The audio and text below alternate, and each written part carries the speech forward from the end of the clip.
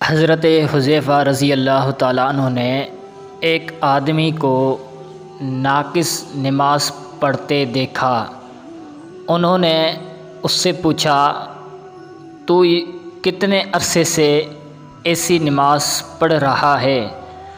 उसने कहा, चालीस साल से। आपने फरमाया, यकीन कर, चालीस साल से तूने नमाज़ पढ़ी नहीं। और अगर तू इस किस्म की नमाज़ पढ़ता पढ़ता मर जाता तो हज़रत मोहम्मद सल्लल्लाहु अलैहि वसल्लम के दीन पर फोत ना होता।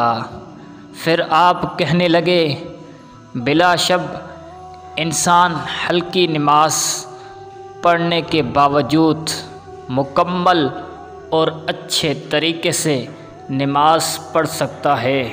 नाकिस नमाज़ का मतलब ये है कि वो शख्स नमाज़ तेज़ तेज़ पढ़ता था और इत्मीनान व सुकून नहीं करता था।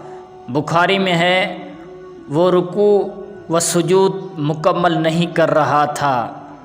और मुसनफ़ अब्दुलरज़ाक में भी है कि उसमें यह है कि वो ठूँगे मार रहा था। एक और रिवायत में इस किस्म की नमाज़ को ठूँगे मारने से तशबी दी गई है और उसे मुनाफिक की नमाज़ भी कहा गया है।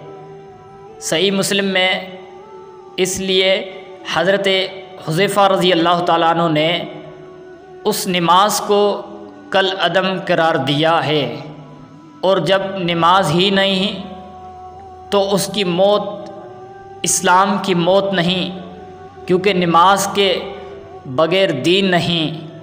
मुमकिन है आपने ज़जर के तौर पर सख्त अल्फाज इस्तेमाल किए हों, ताकि वो कामिल नमाज़ पढ़े।